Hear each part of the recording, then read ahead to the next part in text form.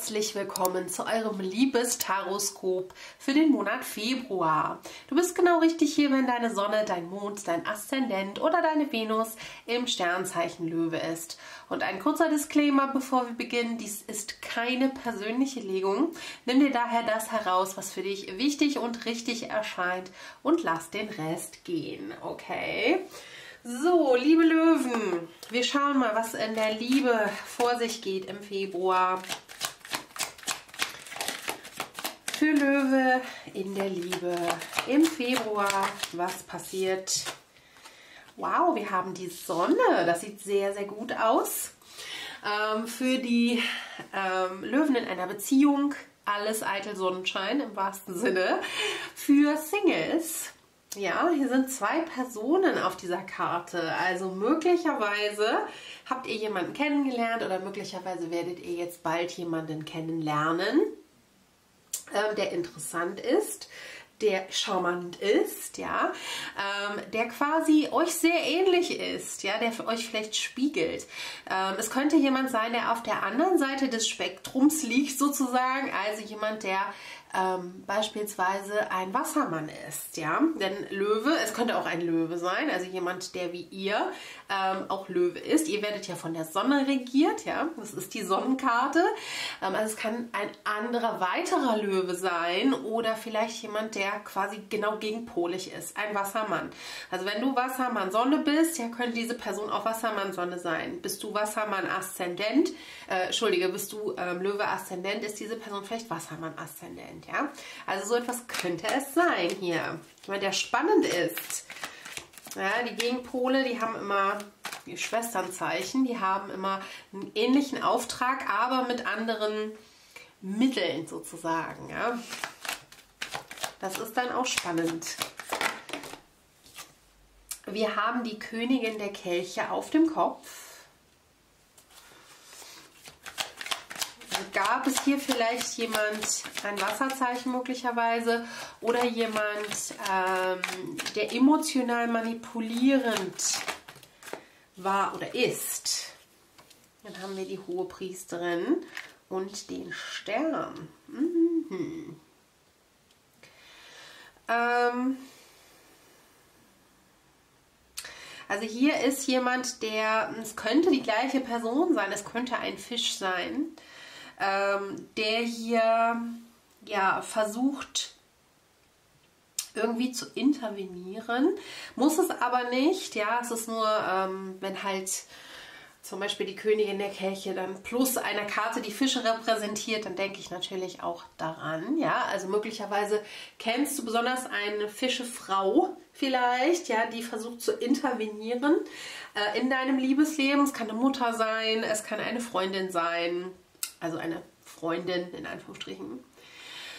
Ähm, ansonsten, wenn es sich nicht um eine Person handelt, ähm, dann ist es so, dass hier im Monat Februar deine Selbstfürsorge nicht zu kurz kommen soll. Okay, ähm, also falls es sich um eine Person handelt und du hast schon ein Bauchgefühl, dann hab da Obacht, obwohl ich hier sehe, dass da nicht wirklich, ähm, dass die, diese Person nicht intervenieren kann. Ja, also hier ähm, haben wir die, die, die, Sternkarte, also das Glück kommt. Ja, da kann niemand ähm, reinpfuschen sozusagen. Aber es kann sein, dass hier jemand versucht, in dein Glück reinzupfuschen. Okay, wie gesagt, wenn es eine Person ist, wenn es eine Energie ist, dann ähm, betreibe auch Selbstfürsorge. Es sieht so aus, als würdest du ähm, sehr viel arbeiten. Das kann halt sein, dass du dir Wissen aneignest. Vielleicht arbeitest du sehr viel, um ähm, im Job voranzukommen oder einfach nur für dich. Vielleicht arbeitest du auch an dir selbst an deiner, ja, wie sagt man immer, Selbstoptimierung, ja, vielleicht arbeitest du an äh, deinem Körper, an deinem Geist, ja, vielleicht bildest du dich weiter, weil du es einfach gerne machst.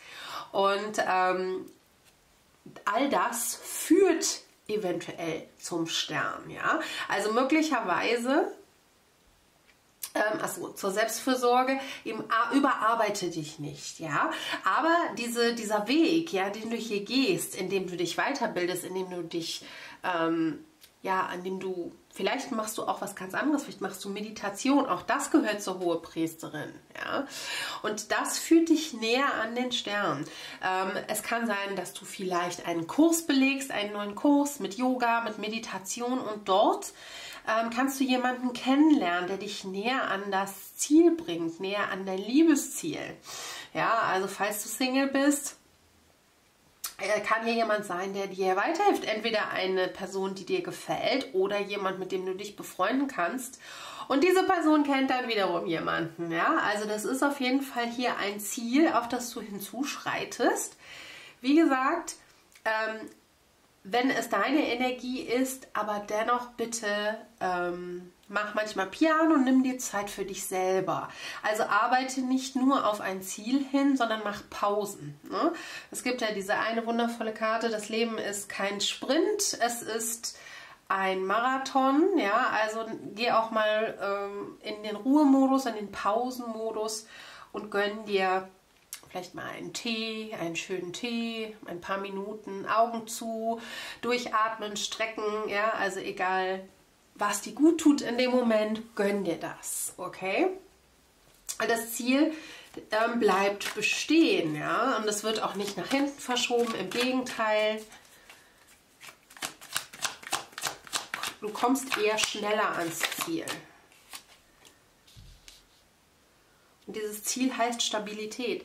Wenn du in einer Beziehung bist, ähm, ist diese Beziehung auch sehr, sehr stabil. Und zwar auch relativ glücklich stabil, besonders im Moment. Man kann das natürlich nicht für Jahre im Voraus sagen, aber gerade im Februar, ähm, da kommt eine sehr schöne Stabilität hier rein. Okay, gleichzeitig dieses etwas ätherische, ne, der Stern ist zwar Glück und Liebe und so weiter, aber für mich ja auch immer etwas ätherisches, etwas, das so groß und ähm, ja vielleicht weit entfernt erscheinen mag, ja, und ähm, das ist so eine schöne Mischung, ja, aus Stabilität, aus Münz, Münzen, die ja wirklich das Haptische sind, und dann dem Stern. Also es ist eine schöne Mischung aus Romantik und auch Stabilität und äh, Verlässlichkeit. Man will sich ja sicher fühlen in einer Beziehung, besonders wenn man eine Frau ist, ja, mit einem Mann zusammen ist, dann will man sich sicher fühlen. Das ist, glaube ich, das größte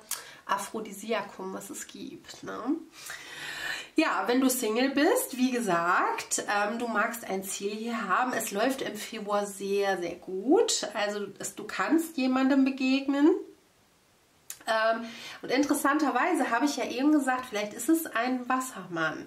Wir haben hier also im Grunde zwei Personen. Ne? Also wenn wir jetzt hier die äh, großen Arkanas nehmen, obwohl wir haben natürlich auch drei. Ne? Es könnte ein Löwe sein, es könnte ein Fisch sein. Oder hier haben wir den Wassermann, ja. Also vielleicht begegnest du drei Personen im Februar, die hier interessant sein könnten. Und dein Ziel ist Stabilität. Ich denke, dass du das auch erreichen könntest. Aber steigere dich auch nicht zu sehr ähm, in Dinge hinein. Lass sie auf dich zukommen, ja, mit der äh, Königin der Kelche hier. Lass sie auf dich zukommen und versuche einfach, ähm, ja, offen zu bleiben für alles, was da kommt, okay? Schauen wir mal auf die Orakelkarten. Löwe in der Liebe im Februar. Wir haben Geduld. Ähm, der, ich weiß wieder nicht, ist es ein Lux, ne? Ja, doch, das ist, glaube ich, ein Lux jetzt. Ähm, und ich glaube, Holunder mag das sein. Blackthorn. Also Geduld. Geduld ist gefragt. Vielleicht ist das hier auch die fehlende Geduld, ne? die Königin der Kelche auf dem Kopf. Wenn sie aufrecht steht, ja, ist sie sehr geduldig. Eine der geduldigsten Königinnen überhaupt. Ja, weil sie sehr ähm, mit sich selber beschäftigt ist. Und sie wartet einfach gerne, weil sie weiß, etwas wird kommen. Unweigerlich, ja. Und in der Zwischenzeit kümmert sie sich um sich selbst und lässt es sich gut gehen. Was im Februar auch deine Ausgabe sein könnte. Und dann haben wir noch die Schnecke und Huckleberry. Und Trust in the Invisible. Also auch wenn es nicht sichtbar ist, ja, auch vor allen Dingen auch interessant, dass wir hier zwei so lila Beeren haben, wo ich glaube, ähm, obwohl, nee, das ist, glaube ich, ja auch Holunder. Also beide essbar. Vielleicht ähm, hast du ein Hobby, was mit Essen zu tun hat, was dich in die Nähe führen könnte. Ähm, aber auf jeden Fall, selbst wenn du nicht direkt äh, die Ergebnisse siehst im Februar, ja, es kann sein, dass sich das hier noch ein bisschen vorbereitet im Februar, dann vertraue darauf, dass was kommt, so wie ich sagte. Ne? Die Königin der Kelche weiß 100 Prozent, dass etwas kommen wird. Ja, mit ne, Abwarten und Tee trinken kennt man und das ist eigentlich ja das perfekte äh, Bild für die Königin der Kelche. Ja, sie kümmert sich um sich, sie lässt es sich gut gehen, weil sie weiß, das Leben wird mir das geben, was ich brauche. Ich muss nicht ähm, in Sorge die ganze Zeit auf und ablaufen, weil ich weiß, dass es passieren wird. Ich weiß, dass es kommt. Okay, also kleine Aufgabe für Februar hier. Vertraue, habe Geduld und es wird kommen. Also es wird so oder so kommen, aber Sorgen könnte es tatsächlich nach hinten treiben. Ja? Lass es dir lieber gut gehen. Tu Dinge, die du magst. Tu Dinge, die du gerne tust. Dann haben wir drücke deine Liebe aus. Go ahead and make the romantic gesture. Also mache die romantische Geste. Wenn du jemanden kennenlernst, ja, dann zeig das dieser Person auch. Sei nicht schüchtern, denn es könnte ein Seelenpartner sein, ein Soulmate. Ja, dies ist dein Seelenpartner. Also unter diesen drei Personen könnte ein Seelenpartner dabei sein. Wenn es sich hier nicht um Personen, sondern um Energien handelt, dann steuerst du aber sehr stark darauf hin, ja. Du bist in einer sehr heilenden, angenehmen Energie, gerade für Liebe, ja. Es läuft alles sehr, sehr gut. Du fühlst dich gut, ähm, bis auf die gelegentlichen Ungeduldsausbrüche hier. Von daher ähm, entspann dich einfach. Der Februar wird wie, ja, wie Butter läuft das, hier wie Öl läuft es äh, die Kehle runter hier. Und mach dir keine Sorgen, der Seelenpartner ist schon auf dem Weg zu dir, okay? Ähm, ich ziehe euch jetzt noch ein paar Liebesbotschaften. Da ist auch eine Seelenpartnerkarte drin. Vielleicht kommt die ja sogar für euch. Da würde ich, ähm, ja, das fände ich total witzig. Die Antwort lautet ja. Schon die erste Karte. Vielleicht hast du gerade was gesagt oder gedacht. Und da lautet die Antwort auf jeden Fall ja. Wirf all deine Bedenken über Bord, lass dich in meine Arme sinken. Vielleicht hast du hier auch ein bisschen Bedenken bei einer Person, aber wahrscheinlich ist es unbegründet. Dann haben wir Wunder. In deiner Beziehung steht eine Veränderung an. Also wenn du in einer Beziehung bist, dann eher zum Positiven, ja, mit den tollen Karten hier. Ansonsten, wenn nicht, vielleicht, ja, gehst du vom Status äh, Single zum Status in einer Beziehung. Und zu guter Letzt haben wir Verspieltheit. Lachen ist die beste Therapie auf Erden. Vergnügt euch miteinander, vergesst nicht, Liebe ist der beste Heiler. Nochmal ein Hinweis, lasst es euch gut gehen. Im Februar, liebe Löwen, ähm, und natürlich würde es helfen, wenn ihr mir, um dass es mir gut geht, ja in meinem Geburtsmonat, würde es mir helfen, wenn du mir ein Däumchen nach oben gibst, einen lieben Kommentar da lässt, gerne auch einfach nur ein Emoji, denn jeder Kommentar hilft ein bisschen mit der Sichtbarkeit. Und äh, vergiss nicht zu abonnieren und das Glöckchen anzuläuten, falls du das noch nicht getan hast, okay? Falls du äh, dich darüber hinaus dazu entschließt, mich zu unterstützen, mich und meinen Kanal, kannst du mir gerne ein Trinkgeld dalassen, zum Beispiel über den Super Thanks Button, das kleine Herz unter diesem Video. Ansonsten gibt es noch PayPal, Amazon und so weiter. Die Links und Infos sind in der Infobox und im angepinnten Kommentar. Und ich sage danke, dass du da warst. Wünsche dir einen wundervollen Februar und den wirst du haben. Und ich hoffe, wir sehen uns ganz bald wieder. Bis dahin.